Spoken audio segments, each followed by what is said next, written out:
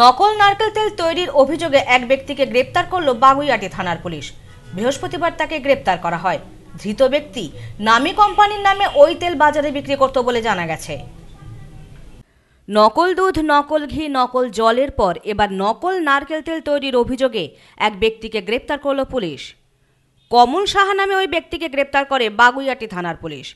Police সূত্রে জানা গেছে বাগুইয়াটির কেষ্টপুর এলাকায় দীর্ঘদিন ধরে নামি এক কোম্পানির নামে নকল নারকেল তেল তৈরি করে লেবেল সেটে বাজারে বিক্রি করত কমল সাহা। নামি ওই কোম্পানির পক্ষ থেকে থানায় অভিযোগ হলে ঘটনার তদন্ত নামে পুলিশ। বৃহস্পতিবার তাকে গ্রেপ্তার করে আদালতে তোলা হয়। ঘটনার তদন্ত শুরু করেছে পুলিশ।